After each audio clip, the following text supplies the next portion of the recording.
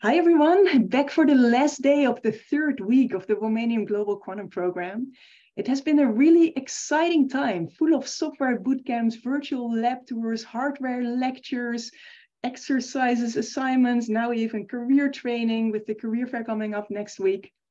Today, it is my pleasure to have NKT Photonics and then um, first a keynote, then a virtual lab tour, and afterwards a software bootcamp by D-Wave to put into practice what you learned yesterday in the lecture. It is a great pleasure to introduce Asger Sellerup Jensen from NKT Photonics. NKT Photonics is a supplier of high-performance fiber lasers and photonic crystal fibers. And Asger is the head of quantum at NKT Photonics. Asger holds a PhD in nonlinear opto optical communication from the Technical University of Denmark and since seven years, he has worked at NKT Photonics in a variety of commercial roles. Now he is the head of quantum activities, leading a great team of uh, which you will see various people today. Oscar, excited for your spotlight. Please take it away. Thank you.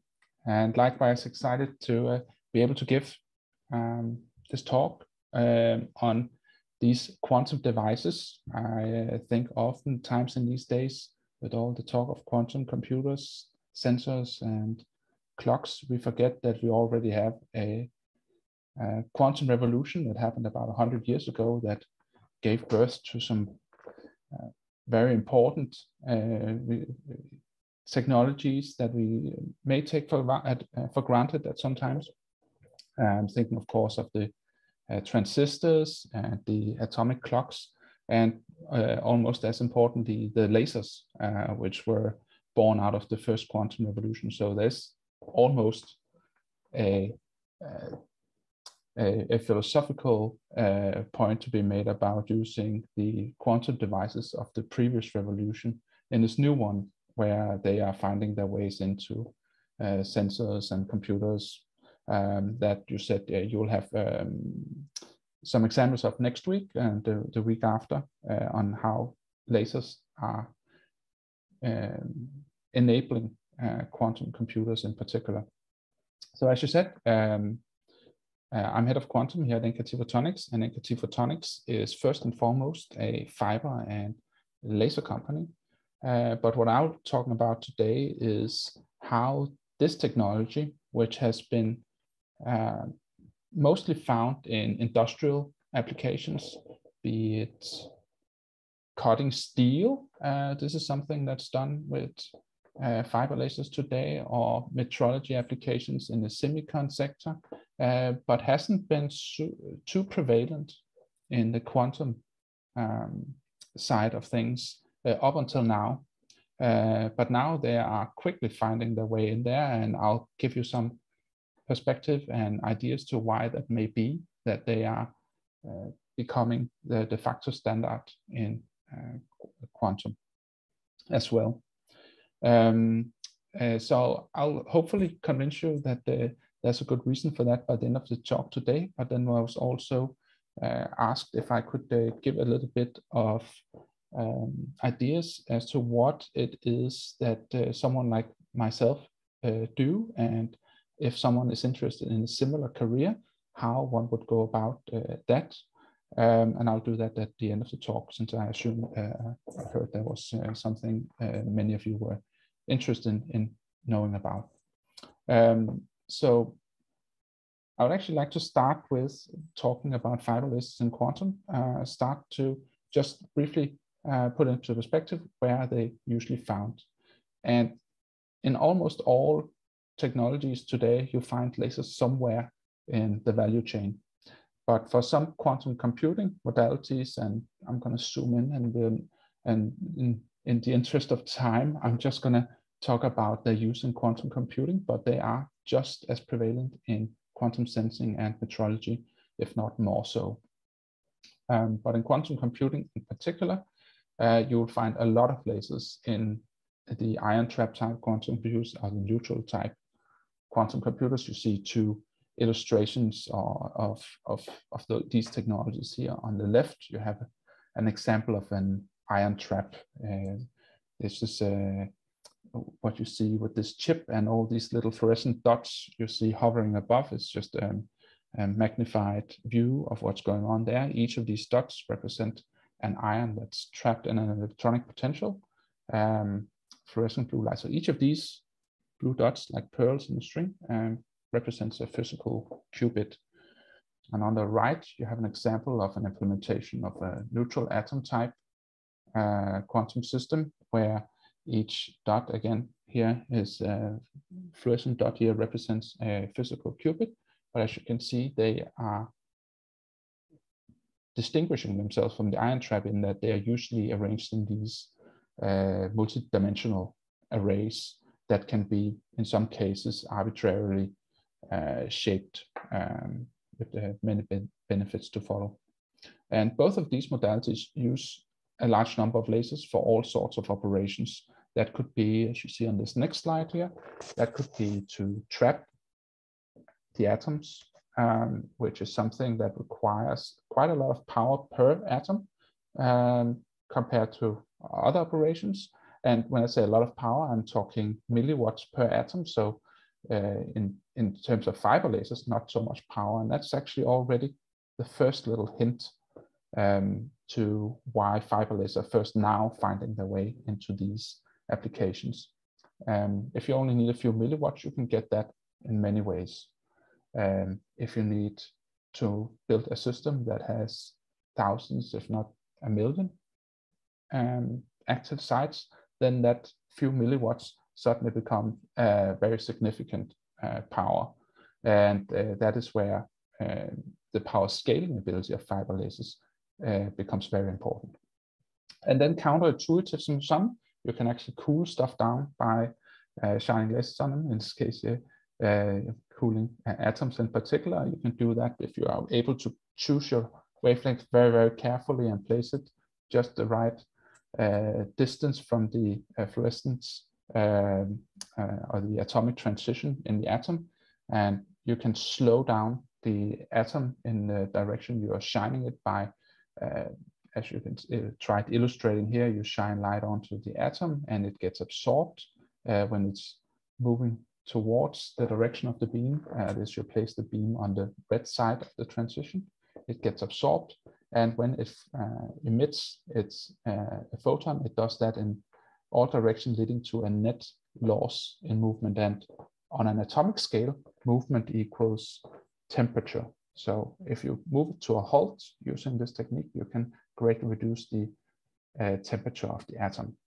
And then after that, you will sometimes remove it uh, or move it to uh, a dipole trap like the first one we discussed. And finally, uh, you would also use lasers to create so-called Rydberg atoms.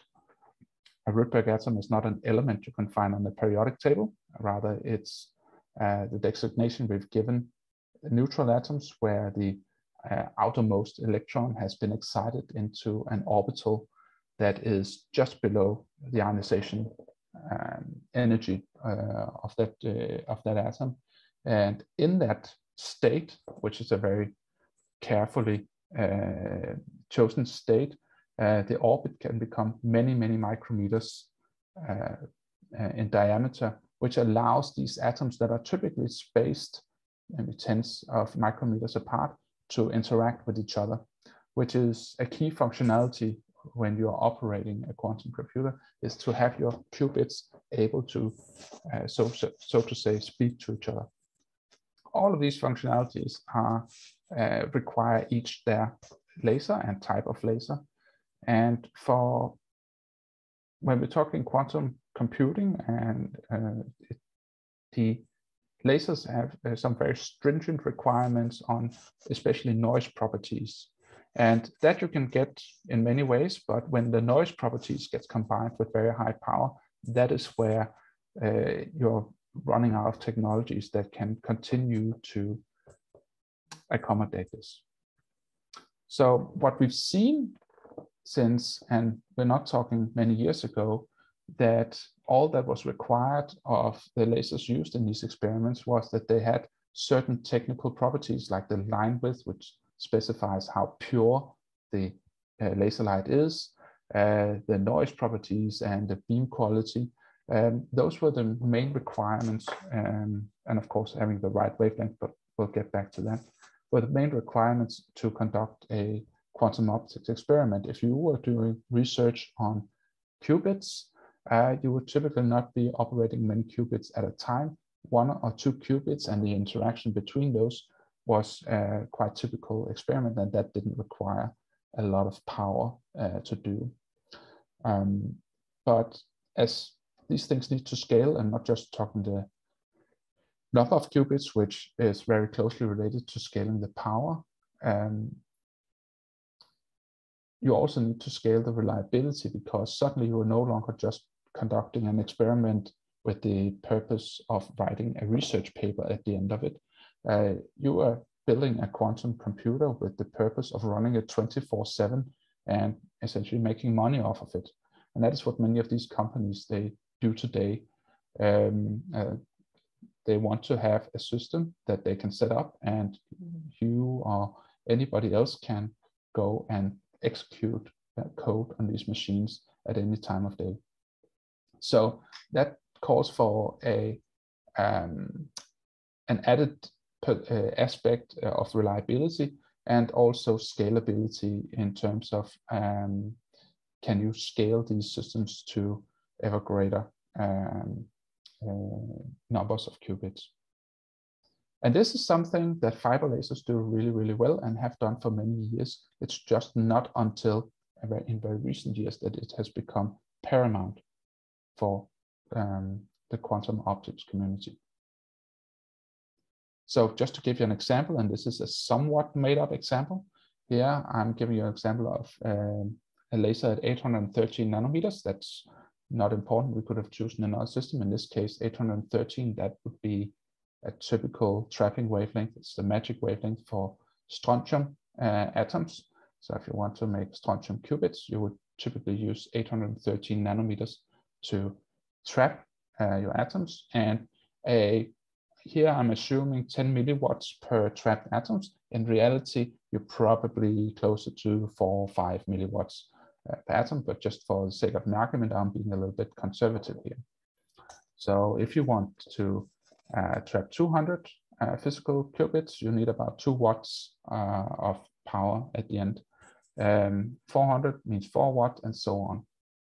And just to compare to what you've usually been your work, what has usually been the workhorse in these applications, you would uh, find diode lasers and diode lasers compare or uh, combined with tapered amplifiers uh, will be um, a, a, nice choice of uh, laser up to just a few watts. Beyond that, you stop being able to scale the power. And that and it goes uh, the same goes for the titanium sapphire laser. There are some practical limitations to how much power you can get out of these and still have uh, of, fulfill the scalability requirements uh, of these systems in the long run. Um, and that is the returning theme here, because fiber lasers, they will run nice and cool for much higher powers than, that, than this, um, which is why in already last year, um, we were uh, supplying 4 watts out of the fiber laser platform at the, these wavelengths. Um, and will now continue to do so. So our task at NKT Photonics and other companies is to keep up with the roadmaps for scaling the number of qubits as they get ever more ambitious. So what is it about fiber lasers that sets them apart and allows them to scale better than uh, other platforms? And really, if you boil it down, it comes down to the thermal management um, in the laser system. So when I say the laser here, I mean both the laser part, the actual light generation part, but also the amplification that comes afterwards. Because in order to make a high performing low noise laser, you have to run it um, at the lowest thermal load possible. Uh, that is how you make the lowest noise uh, laser. Then you can subsequently amplify that light and keep most of the noise properties. So first challenge is to make a laser that can run uh, without you know, any thermal um, uh, load if possible. And fibers make um, uh, make for a very nice platform to make low um, low temperature lasers um, because the fiber itself, you can say that's uh, in principle a solid state um, medium that has been stretched uh, in length. So uh, the volume, the active volume from where power is dissipated becomes very, very large. And in addition to that, since the distance from the center of the fiber to the surface is very, very small, you get a very high surface to volume ratio. So any temp or any surplus energy, which there will always be when you make a laser, is very, very easy to extract from the medium. And this is ultimately what allows you to scale power and fiber lasers to these very, very high uh, levels. So when you make a, a fiber laser, this is already a good starting platform, even if it's a low power laser, because when you get to these very high end uh, laser systems with low, uh, with low noise properties, uh, most of your noise uh, contributions come from technical noise such as temperature fluctuations. So we place our fiber lasers, which is a piece of active fiber with a small grating written into it. Uh, we place that in a, we are able to place that in a very thermally stabilized manner. And that is also because the way a fiber DFB is, a, uh, is the term uh, for the fiber lasers that we produce at NKT Photonics, has a cavity that's only a few millimeters long. And that has several benefits. First, it allows for the entire cavity to be very well isolated, very easy to put it in an isolated environment. So the downside to that is that we also have uh, low uh, um, uh, what we say where your ability to affect the cavity with temperature is very low, which is how you would often tune other types of lasers, such as a diode laser. You can tune that by changing the temperature. The fiber laser it's not very easy to change the wavelength in any way. We can mostly just do it by stretching the fiber a little bit. So the downside is you lose something on tunability, but that doesn't matter much for the quantum optics world, where typically you know the uh, transitions you're trying to hit with several uh, digits uh, on the nanometer. Um, so there, it's it's not uh, what, what you do prefer is a thermally isolated uh, fiber cavity. So where the the other aspect where the thermal uh, management of a fiber becomes very important is in the subsequent amplification, where you are scaling the powers to these typically multiple watts and in some cases even up to hundreds or even kilowatts of power. And there you really benefit from the uh, long fiber uh, where to distribute the thermal load uh, and the high surface to volume ratio.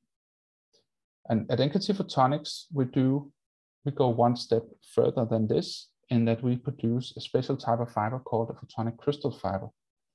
And a photonic crystal fiber distinct, um, sets itself apart from a standard type of fiber in that the refractive index difference or the contrast in refractive index that gives you the, uh, the guiding properties of the fiber is made up of air holes in the cladding. So we reduce the refractive index in the cladding uh, by adding holes to it. And this has many uh, advantages.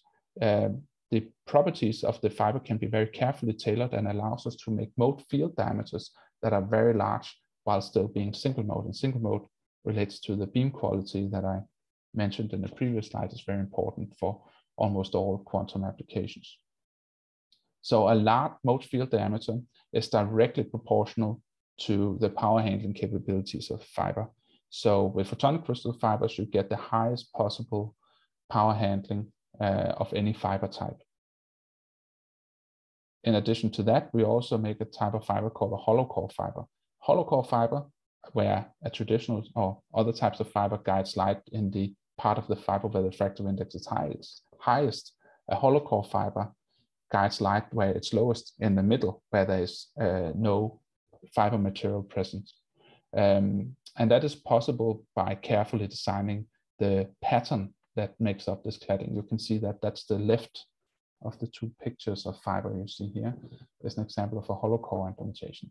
And hollow core fibers have, because light is guided uh, without or with very little interaction with the material itself, has enormous power handling capabilities and also allows you to guide types of light such as UV light that is otherwise very prohibitive um, in fiber because it breaks down the glass that is it's guided in. hollow core fiber should have none of these issues as well as no nonlinearities. Um, so with these two fiber platforms, we can scale uh, not only the laser power, but we can also deliver it in a convenient package with a fiber at the very end, even at very, very high laser powers. So of course, this is a very attractive issue of trying to scale a quantum computer. And just to give you an example of how much power scaling difference we're talking about here, on the top left where it says PM980, this is typical fiber used in a fiber uh, amplifier around the, the 1060 nanometer, uh, where you can see it has an effective mode area about 30 micrometers.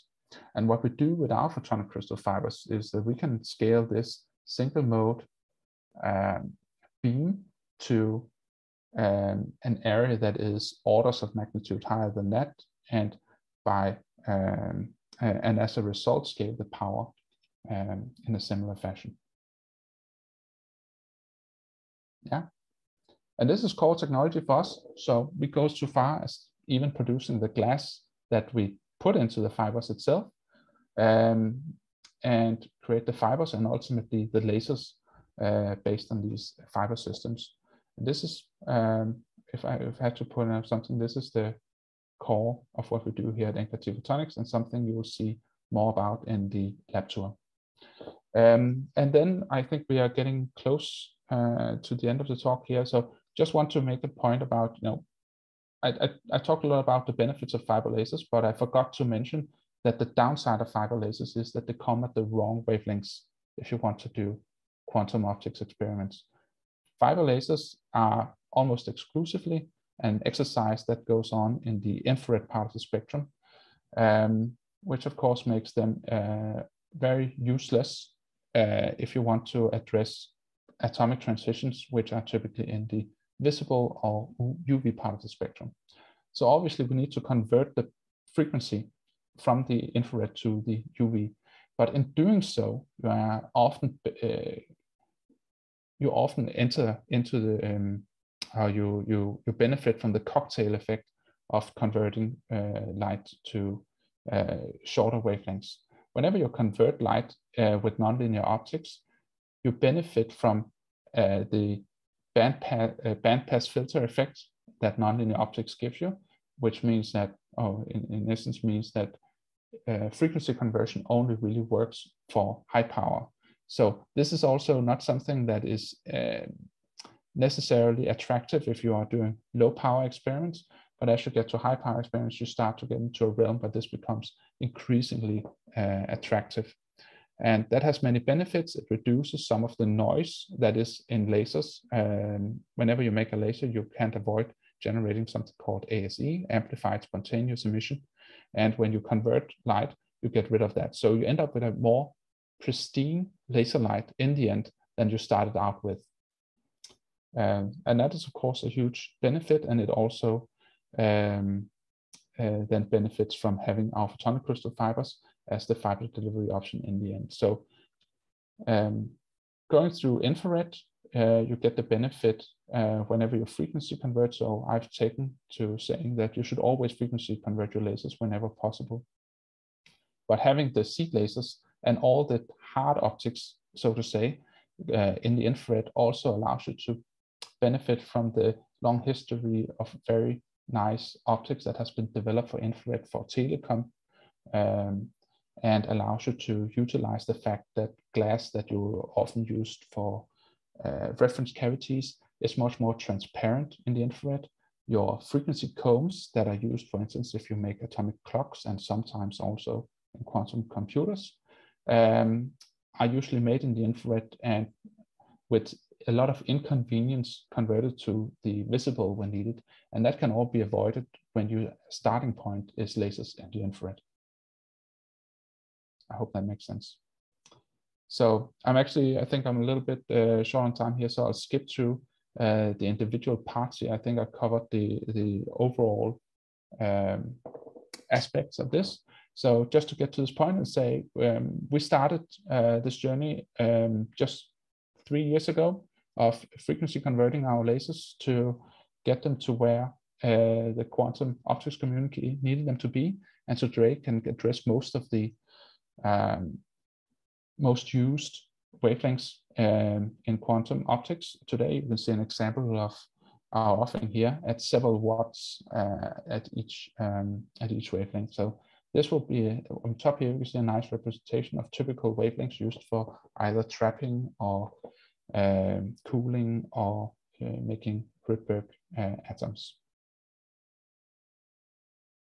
So main takeaways um, for cold atom qubits, um, if you combine fiber lasers, fiber amplifiers, PCF technology, um, you have a very versatile cocktail that can address a lot of wavelengths with just a few infrared lasers you should use infrared lasers as much as possible because of the reasons I gave with uh, much of the optics being more attractive to work with in the infrared.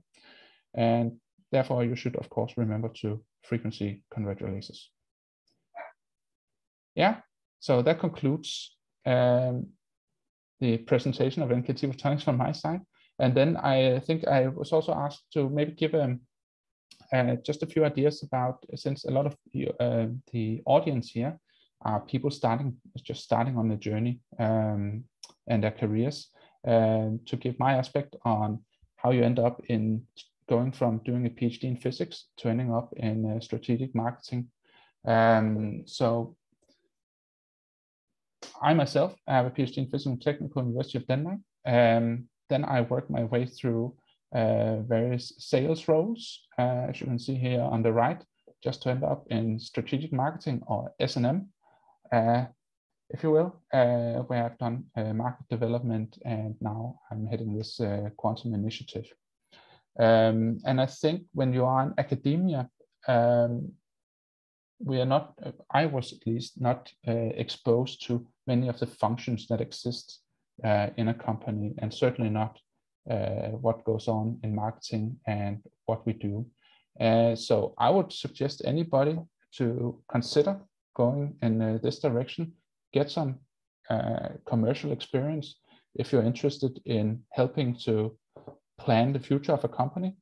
Um, in, when you're working in strategic marketing, you are the focal point between sales engineering and the management.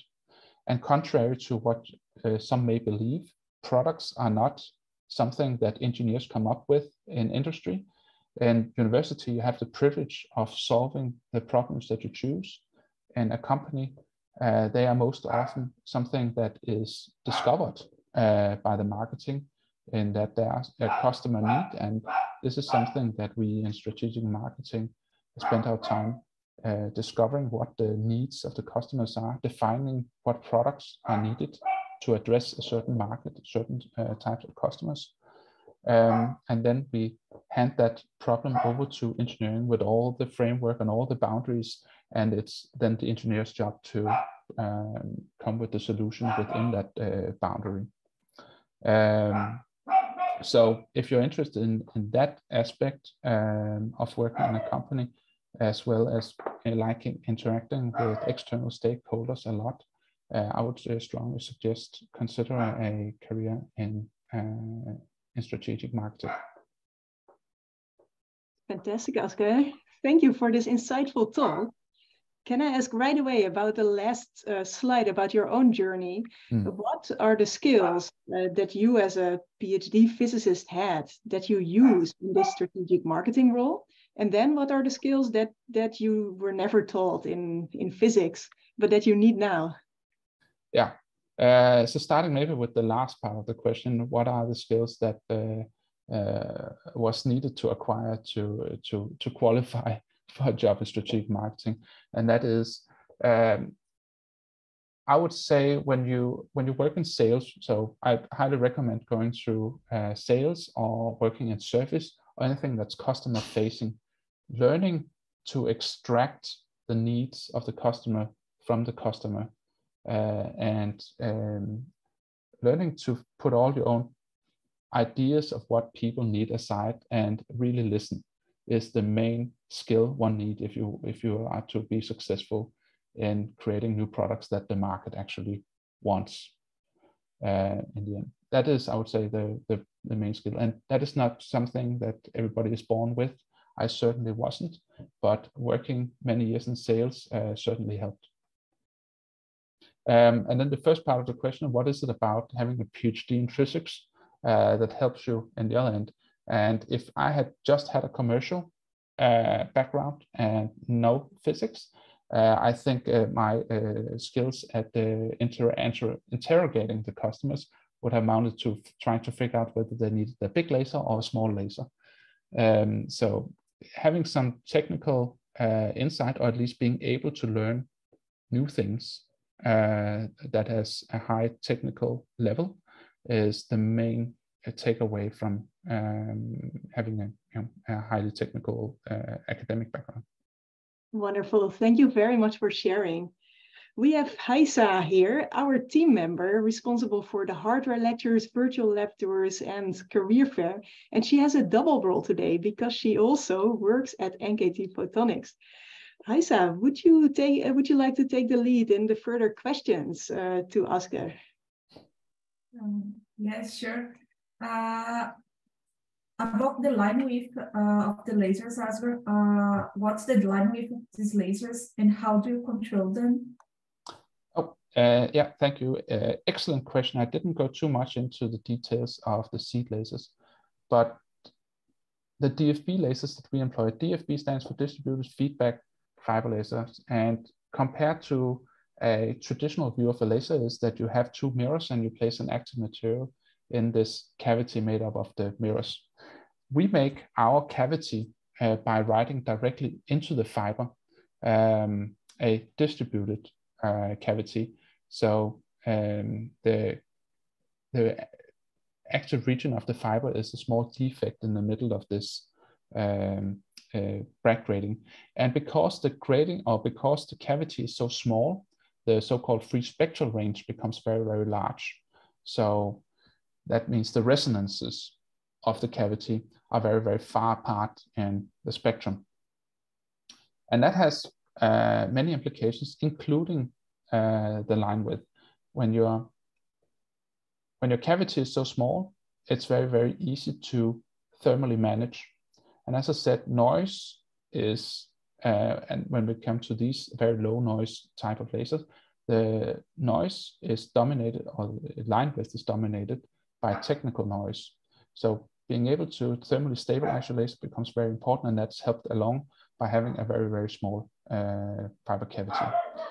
Um, in addition to that, the fact that the free spectral range is so large because the cavity is small means that the laser has a very low tendency to mode hop. It is in fact very, very easy to keep the laser on one of these uh, narrow lines. Um, precisely when, uh, when because, precisely because of the way a DFB fiber is built up. So other types of lasers, like an external cavity diode laser, will have a high tendency to mode hop, partly because the medium itself is th quite thermally sensitive. So any thermal fluctuations will make the wavelength uh, jump. Uh, but then again, the cavity is much larger, so the free spectral range is much smaller, which means that not only are you uh, fighting against a thermal sensitivity, you're also fighting against uh, modes that are very, very uh, um, closely spaced, so they will always have a tendency to jump between these modes, and you see that as jumps in the wavelength of the laser. Mm-hmm. Um, and could you comment on because all of these lasers that you mentioned, they are continuous wave uh, sources, right? So if you had a short pulsed fiber lasers, how could they provide like a very high power or energy? Okay, I can have you uh, repeat that question again. Yes. Uh, could these fiber lasers be pulsed and provide very high power and energy? Yes. So um, at NKT Photonics, uh, we have several product lines.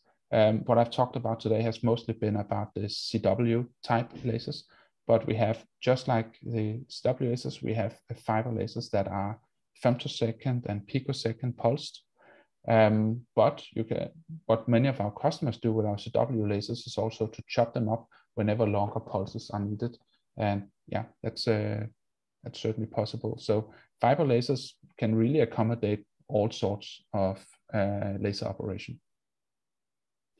And just to mm. uh, apologize for the for the uh, previous question, I don't think I actually mentioned what a typical line width was of these lasers. But depending a little bit on how you define the line width, I think for uh, typical definitions, we're talking about 100 hertz of line width um, out of a DFB type uh, fiber laser. Yeah. yeah, after the left, Right. Let's move on with the lab tour, about which we're all really excited.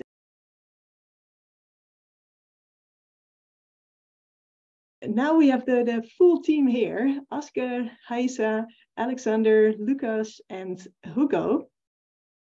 Would you like to give an introduction? Yes, I can start. So as most of you know, I'm part of the Womanium team, but uh, right now i will be talking as an optical engineer at NKT Photonics. So I joined, joined NKT this year on February, and I work in the quantum solutions team there, and we provide laser solutions for the quantum industry. Hi, so yeah, my name is uh, Alexandre, and um, I have uh, I made a PhD in optics at the Technical University of uh, Denmark, uh, same as uh, Asger, and then I joined uh, last year, uh, the team here at NKT Photonics, and on my side, I'm working mostly on the harmonic product line, so responsible for uh, frequency conversion uh, to target these different uh, interesting lines for quantum optics. Hi, my name is Lucas. Uh, I have a PhD in optical communications. Uh, I was an academic for multiple years working in the lab dealing with optical communications and optical amplifiers and I have joined NKT recently in December last year as an optical engineer, and I'm in the lab uh, working on fiber delivery systems for our products. Uh, hi, I'm uh, Hugo.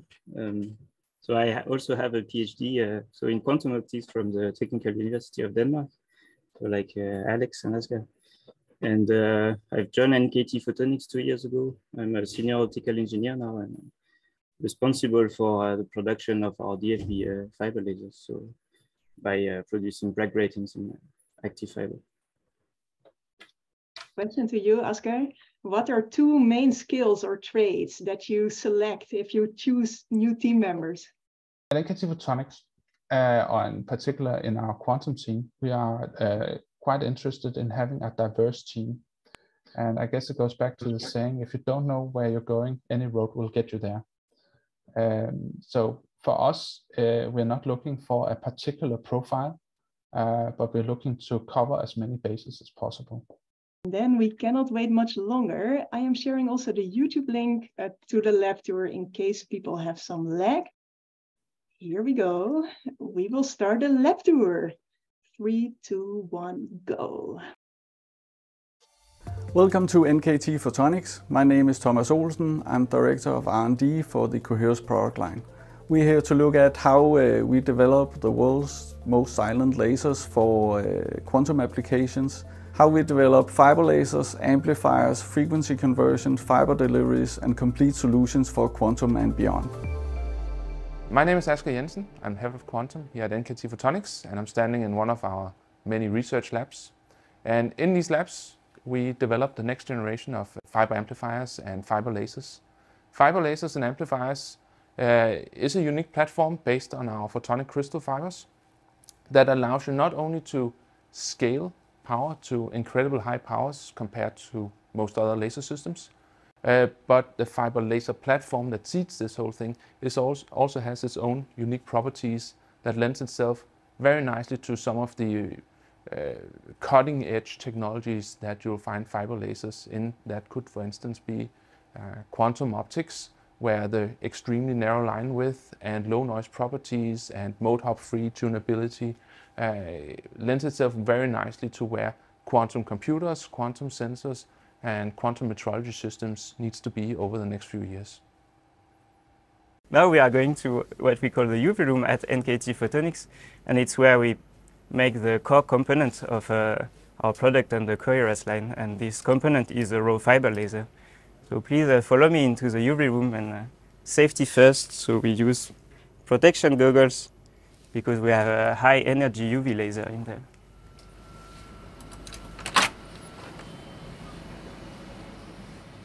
So here we stand in the UV room, and uh, as I mentioned, we make the core components of the Koheras products which is a raw fiber laser. And uh, this is also the first uh, product that uh, Koheras uh, sold back in the days. And the raw fiber laser consists of a laser cavity inscribed into a glass fiber. And this glass fiber is uh, active, so it has been doped with uh, atoms like uh, erbium, ytterbium, or thulium in order to provide the gain energy for the laser. Um, so to uh, make this laser cavity, we uh, write uh, Bragg gratings with uh, high-energy UV lasers. And uh, as you can see here, it's our uh, setup for UV writing, where the UV laser stand behind the writing station.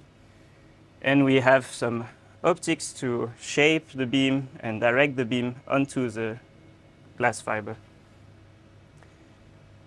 So once uh, beam, UV beam reach uh, the uh, station where the fiber is placed, on top of the fiber we have a phase mask.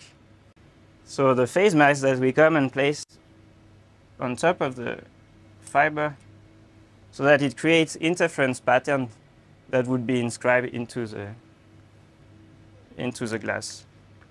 For making this laser cavity, we need a high reflector and an output coupler with a lower reflectivity so that we can direct the light out of the fiber cavity. And since we are always at the forefront of uh, fiber laser technology, we often ha have the need for specific equipment uh, in uh, our production and uh, here in this UV uh, uh, room um, so that we can make new products and uh, in a more efficient way and in a more uh, reliable and sturdy way. So here is a, a production area, so there is a, um, a lot going on every day, and all what we make in this room needs to be uh, sturdy and uh, uh, easy to use for the production technicians. And um, we have a lot of work to do to uh, get equipment that is uh, right for the job. And uh, for that, we have very nice collaboration with uh, our supplier of equipment, with who we often cooperate to develop the best piece of equipment for our facilities.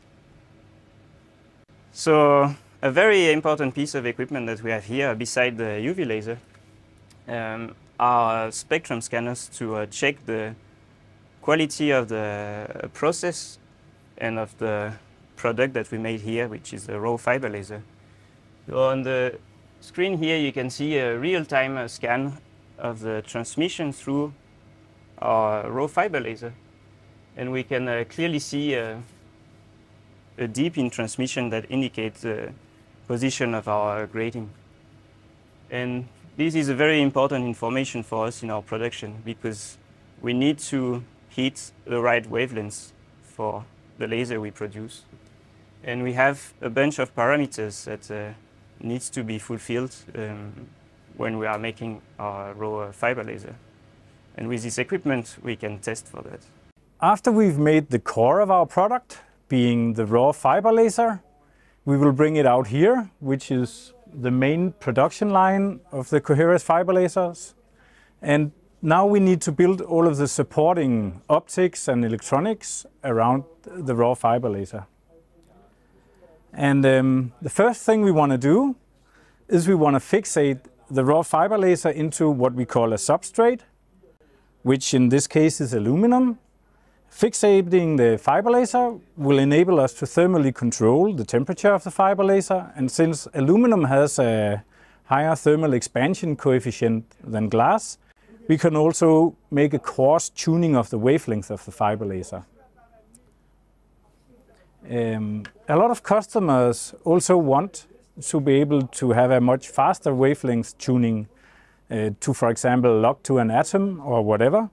And then we also supply a piezo on this substrate. And so you could say you have the slow thermal tuning to do a coarse tuning of the wavelength, and then you'll have a, a faster but smaller tuning using the piezos to do the fine tuning and locking to, for example, an atomic transition. We still need to do a lot of other supporting optics and electronics before it's a module. And um, I have an example of this here. So the fiber laser is going to be spliced into what we call a module. This is our smallest module called a BASIK MIKRO, where you have the fiber laser now inside a thermal shield. You have some pump diodes and you have some supporting optics and you have a photodiode that will allow you to make an electronic feedback loop to stabilize the power. And the electronics also support stabilizing the temperature of the module. The smallest uh, BASIK micromodule is preferred by OEM customers who want to integrate the fiber laser into their own products. After a module has been spliced, it needs to be tested, first of all to be calibrated, uh, power-wise and wavelength-wise, but we also need to verify all of its performance parameters. And the calibration and uh, verification of performance parameters is done automatically. So we have built automatic test setups that will um, enable us to, to calibrate and uh, verify the performance of all of the modules. This is simply a must since the production volumes are increasing. So we see a steady increase year after year and automation is our best strategy going forward. My name is Thomas and I work as an optical engineer in the amplifier team for the Koheras product line here at NKT Photonics. As the name suggests, our team uh, focuses on providing amplifier units for the Koheras single frequency fiber lasers that take their output power from milliwatt range into the watt range. And here's an example of such a unit. This is a um, BOOSTIK HP unit, which is seeded by a Koheras ADJUSTIK uh, laser lasing at 1560 uh, nanometers. And the reason we want to increase the output power is because we have customers who, on top of the excellent noise characteristics of uh, the Koheras fiber lasers, they also want a high output power for their application. This application could be, for example, optical trapping of neutral atoms, where the trap depth scales linearly with the intensity of the laser field. It could also be within the semiconductor industry, where our lasers are used for inspection purposes. It could be for LiDAR measurements of wind velocity, or it could be as a high power starting point for frequency conversion schemes. Inside um, our amplifier unit, the amplification takes place in an optical fiber that is doped with rare earth ions such as erbium, ytterbium or thulium, depending on the wavelength that you want to amplify. Inside the doped fiber, the signal light coming from the seed laser is uh, combined with pump light, which is provide by, provided by high power diode lasers and the pump light excites the dopant ions into excited, in an, an excited state. And this then allows uh, amplification of the, uh, the signal light via stimulated emission. In principle, this process is fairly simple, but there's a big engineering challenge in optimizing your amplifier design um, within the physical limitations given by the absorption and emission spectra of the dopant ions. On top of that, the system needs to be able to handle the high internal power levels, and it also needs to uh, live up to the high reliability standards of um, the NKT Photonics products. Finally, the amplifier must preserve the excellent noise characteristics of the Koheras fiber lasers, whether you want to use the um, output of the amplifier as is or as part of a frequency conversion scheme. Hi, my name is Timur. I'm an optical engineer at NKT Photonics in Koheras Group. And in this group, I'm responsible for optical collimators, uh, fiber deliveries, and uh, harmonics production. So in my hands, I have a collimator. This is high power collimator, which is an interface between the fiber optical amplifier and free space. So it's very important that this uh, part has a very good pointing pointing, it means that the direction of the beam is very well defined. And this is very important in the application of our uh, amplifiers. For example, if something happens to your amplifier in your optical setup and then you replace it, if you take a new one, you plug it into your setup, and then the direction of the beam is, uh, is at the same position where it was before. Now I will, uh, right now I don't have light here, but now I will insert it in our setup where we produce and uh, test these collimators and show how we measure the pointing.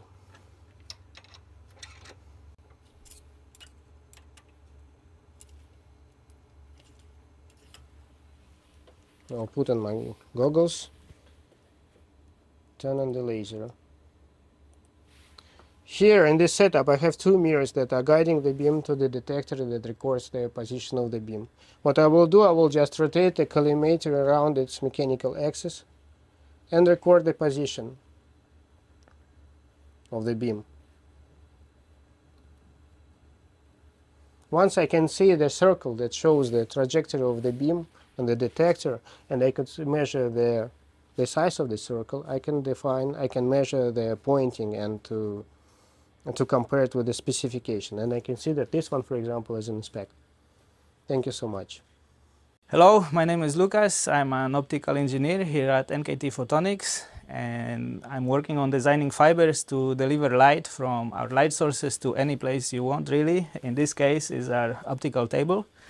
Um, I want to show you some experiments, some measurements that we do on, uh, on our fibers. What we are interested in is uh, low loss, uh, high degree of polarization and we want the output beam uh, to be as close to Gaussian shaped as possible. Uh, let me put my light goggles on. Uh, so the first measurement I want to show you, and we can see the beam is directed into our uh, M squared machine. We will measure the quality um, of the beam.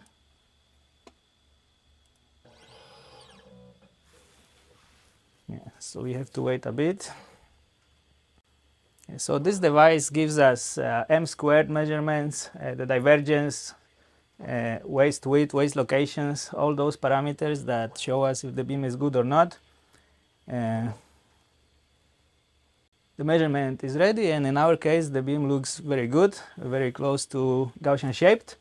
Uh, let me show you now how we analyze the output polarization of the fiber. Let me flip this mirror here to guide the light into the polarimeter.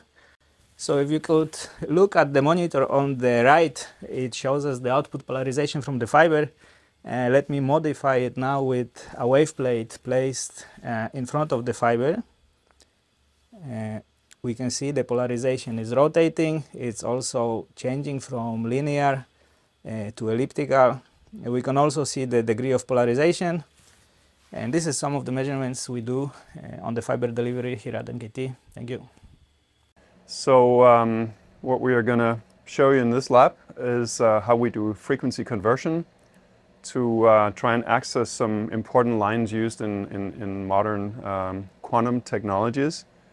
And um, um the thing that we want to do here is uh, utilize the very nice properties that the DFB fiber lasers have in, in terms of low phase noise, narrow line width, and low um, amplitude noise, low RIN and try and convert that from the infrared region, roughly between 1 and 2 microns where they tend to operate, and then uh, try and access some uh, lines in the visible. And um, so, so what we have here is you see a rack, where in this case we have um, two um, fiber lasers, one at 1.5 micron and one at 1 micron. And they, each of them output on the order of a few tens of milliwatt and um, that is then um, uh, that is uh, connected to amplifiers that you see down here. So there's a one micron and a 1.5 micron amplifier. So that's an ytterbium doped uh, fiber amplifier and an erbium doped amplifier. Each can output roughly 15 watt. Um, and this is then coupled via other uh, fiber cables that you can see here into a, a harmonic conversion module. And um, uh, this module, uh, which you see here on, on the breadboard, consists of two separate uh, frequency conversion systems. So the one micron, which is amplified in this case to something like um, something like 8 watt, uh, is then frequency doubled to the green. And you can see, in fact, uh, there's some excess green leaving the module here. Um, but the main part of the green is actually coupled into the second module where it is mixed with the 1.5 micron in a uh, difference frequency generation scheme. So there's a pole crystal that does DFG. And then what is produced is light at 840 nanometers. Um, and if we take a closer look at some of the outputs, can take a an IR card that is um, sensitive at 1.5 micron. So you can see here, you see the a mixture of green and oops, and uh, the residual 1.5 micron. There's a lot of power, so actually create a bit of smoke. and then we have the 840, which you see here. And then there is the residual green, which you see here. It's very powerful, so I try not to burn too many cards. So 840 nanometers is an important um, uh, wavelength, for instance, for um, uh, rubidium quantum technologies. So here on this piece of paper, you can see the energy level diagram for uh, rubidium. And uh, 840 could be used if you frequency double it uh, one step more you generate 420, which is the first step in the Rydberg excitation uh, scheme for rubidium. Um, and the overall system architecture is um, shown here. So you have the um, 1550 or 1.5 micron BOOSTIK system consisting of the 1.5 micron DFB fiber laser and the amplifier which is then mixed in the DFG module with the second harmonic of the one micron uh, laser, which consists of the other laser plus the other amplifier, frequency doubled to green and then mixed in. Yeah. So hi, my name is Rayssa and I'm an optical engineer at NKT Photonics. And here we are in the Quantum Solutions Lab. So in the Quantum Solutions Lab, we provide solutions for the quantum industry. and we do it using the um, powerful characteristics of our laser systems. For the quantum co uh, community, a different range of wavelengths and requirement in optical power are needed. So, for example, if we think about atomic systems platforms, so cold atoms and trapped ion systems, and in this case, uh, the wavelength range can reach from UV to the infrared. Uh, other applications are, for example, photonic quantum computing systems. Uh, the requirement for the systems are also in the level of uh, how much optical power a laser system can deliver. And for quantum computing platforms based on atomic systems, uh, the level of optical power is scaled with the number of qubits that you have in your system. So for example, uh, in neutral atoms qubits, if you want to go from 200 qubits to 2000 qubits, for example, you need to scale the optical power from 2 watts to 20 watts of optical power. But more than scaling, uh, scaling the power, we are also developing here uh, integrated systems that can fit in this box that that fits in a rack system, in a rack system that you can use close to your uh, device. In this box, we in this acoustic modeling, we use uh, line card systems that uh, looks like this one here, for example. So they are very compact systems that can deliver uh, laser solutions, but also more than it. It can also produce like uh, phase modulation, acoustic, optical modulators, or variable optical attenuators. So all of these systems that we develop here can fit in this box uh, and you have a complete solution in an integrated system. So as key takeaways, we use the best properties of the laser systems developed at NKT Photonics as the low noise present in the laser, the high optical powers and the frequency conversion systems, and use it to probe cold atoms, trapped atoms, and photonic quantum computing systems. Uh, yes, so with it, we finalize our tour here at NKT Photonics, and I'd like to say thank you for taking this journey with us.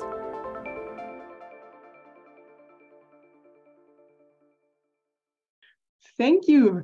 Thank you all for creating this really comprehensive and extensive lab tour with so many people from the company involved. And even here now, five people involved, including our own team member, Rayssa. That is uh, really fantastic. Let's start the Q&A. There were so many topics in the video. So many parts were discussed. Yes, um, I can do it.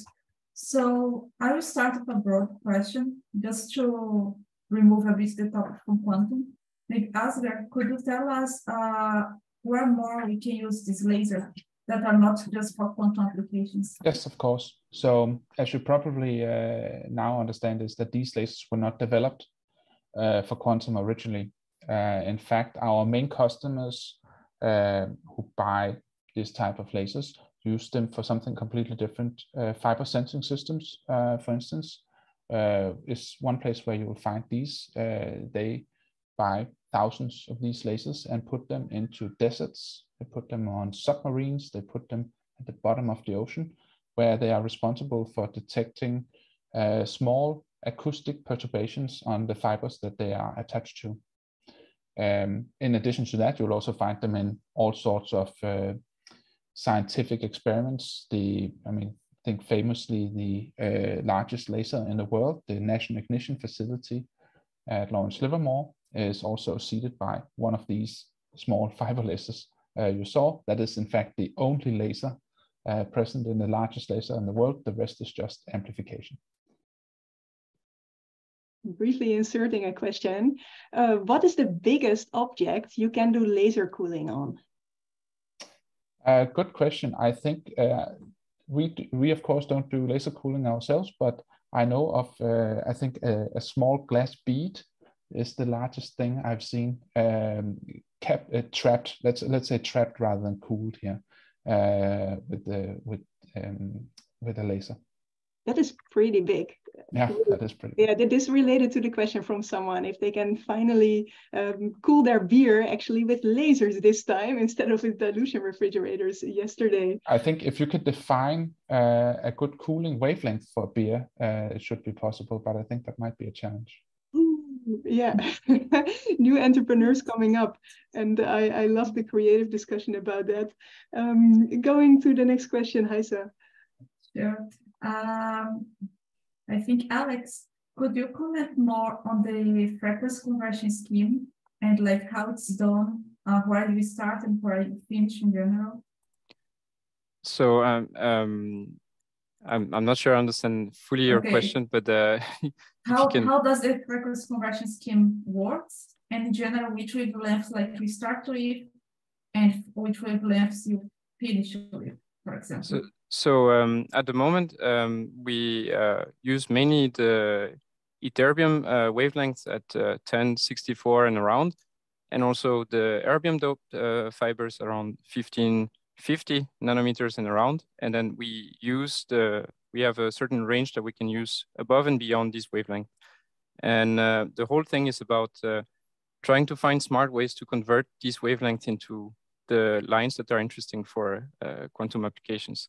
And there's different schemes that you can use for that. You can use uh, um, second harmonic generation, or we call it SHG. So you just divide the wavelength by two. So that would just take one laser. Then you can use multiple lasers in uh, what we call uh, difference frequency generation or sum frequency generation. And that's just to do with how you combine two wavelengths and in the resulting wavelength. And the, the um, then we have also some resonance systems uh, where we can uh, also just uh, create the, the same uh, second harmonic generation and, and divide the wavelength by two. Um, I don't know if this is clear enough or if you want more details, I'm happy to comment. No, now. I think this is clear. Could you also comment on the optical power that we generate? Uh, yes, yeah, so um, in general, we start with uh, those amplifier systems that you've seen in the videos that can deliver some something like 10 to 15 watt in general. Um, and then uh, obviously with uh, uh, frequency conversion, you're going to lose some power. And uh, the reason why we use such high power is because the frequency conversion in general is a nonlinear process. So if you have a very low power, you're not going con to convert uh, efficiently uh, your, your input power into the output power at the, the wavelength that you're interested in. so that's why we, we require this super high power to begin with. And then in general, for all the lines that um, uh, Asger mentioned in his presentation earlier, uh, we reach uh, a few watts of uh, output power for most of the lines. Perfect, thank you. Uh, I think, uh, Lucas, could you comment more on the m square measurements, like what it measures and what kind of bin you are analyzing? Yes. Uh, okay, so M square measurement, originally we want a, a, beam coming out of the fiber to be as close as Gaussian shape as possible. So M square measurement gives us uh, the ratio of how close the beam is to a Gaussian beam. A perfect Gaussian beam has M square uh, ratio of equals to one. Uh, so we're trying to get as close as possible and we have us, our specs that tell us if the M square is too high, the beam is not good enough, and then we look for better solutions for our customers perfect. Uh, okay, I'll ask for Hugo now. So Hugo, we have some technical questions and some uh, people worried with the UV laser. So you are using uh, glasses there, but why you are not using like protection equipment for your body in the UV system? Uh, uh, so we have, uh, so when we uh, when we use a UV laser, we have a, a window that we can slide uh, in front of the, of the setup so that we can enclose this uh, setup completely. Um, then for the body, uh, we have lab coats. So if I need to service a, a UV laser, for example, it's a little bit more open. Um, and then I have my lab coats and gloves, I can protect my hands. Perfect. And uh, we have the system that was blurred there, and this is because you cannot show the system for the ones that were very curious about it. But could you explain a bit more about how the process uh, happened in the UV room? Yes, so we have uh, uh, our fibers that uh, are placed in, um, in the setup. So we stretch the fiber so that we can uh, that's the way to uh, to uh, target the right wavelengths for our Bragg gratings. Um, then the, the beam from the UV laser is shaped so that we can expose the fiber uh, in a uniform manner. Um, and uh, between the beam and the, the, UV laser and the fiber, we have a phase mask. So that creates the interference pattern uh, onto, the, onto the glass fiber. Um, and we have some amplitude mask also to define the length of, uh, of our gratings. So we we have recipes to reach uh, the, the to make the best fiber laser. Okay. And I cannot say too much because some of it is uh, secret recipes. Yeah, no, it's fine. Thank you. Uh, I think I have a question to Alex. Uh, to Alex. Uh, how do you deal with low efficiency conversion when worked with frequency conversion? I, am sorry, I didn't hear the, can you just repeat okay. once more, sorry. How do you deal with low efficiency conversion when worked with frequency conversion? With lower conversion efficiency? Yes. Um, I mean, that's uh, something that we try to avoid. I mean, we always uh, try and um, make our products so that we have the highest conversion efficiency. So um, uh, I'm not sure I can say way way more about this, but all of the schemes that we use in our harmonic systems are meant to be uh, for uh, use that where, where we have the most conversion efficiency. So that's why we always use larger power and uh, usually most of our customers are interested anyways with uh, in, in larger powers and and it's it's uh, you, it's it's just um, if you see it this way, if you want, uh, even if you're interested in uh, having a very low power at these given lines, um, in general you can always use a high power and then you can split it for uh, uh, uh afterwards uh, for any applications, and that allows you to, for example, have multiple systems running in parallel or trapping multiple qubits in parallel, etc. So it's it's in general we we always try and be in a in a, sp a space where we have the the best conversion efficiency. Um, okay, there is a, a lot of uh, comments here on how to start a company uh, with lasers for cooling the beer, but I think we are not doing it here uh, with our lasers, not right now, maybe in the near future. I also but, love uh, the discussion related to glasses. Uh, yes. For example, the, the Orca CEO, uh, they focus on uh, photonic quantum computing. He was first into sunglasses, uh, inventing new coatings for that, and now CEO of a quantum computing company. So it is all not that far away. no. It's good. Um, yes, we have a question here. Can you turn down the fiber laser power to get like a plus classical or, or even single photons? Would like to take it, Asger? Uh, yeah, um, yeah, and some of our customers do that. Uh, sure. Um, you can, if, if you want, you can get in touch with us afterwards. We can provide references for customers who are doing exactly that. Okay, perfect. Uh, I think I think I will ask a question about uh, transition because there are many questions in, with regards to it in general. So most of you have a uh, most of you know all of us have a PhD, right? And you did this transition from the academia to the industry. So uh, what let's say what are what made you take this decision and uh, yes how, how was this transition for all of you Maybe you can start uh, with Hugo. Uh, yeah, I can say a bit. So my transition was a bit smooth uh, because I didn't jump directly into a company that uh, that is doing a production like we are doing uh, at NKT Photonics. So I was I worked at the Metrology Institute uh, of Denmark, which is a, a private company but uh, running uh, on a lot of public funding and still doing uh, fundamental research on top of uh, on top of services of uh, metrology. So that's where reference for the meter or the kilogram are kept in Denmark.